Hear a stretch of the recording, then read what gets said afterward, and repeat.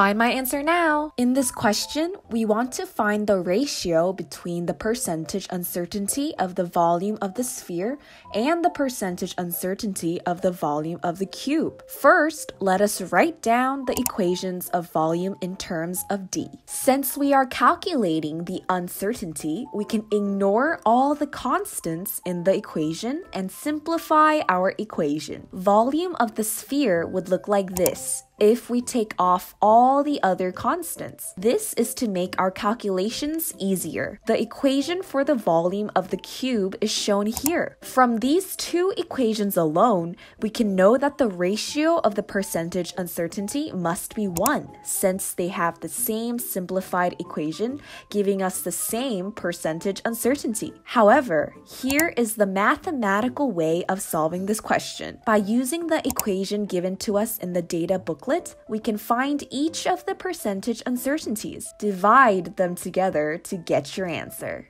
Good luck!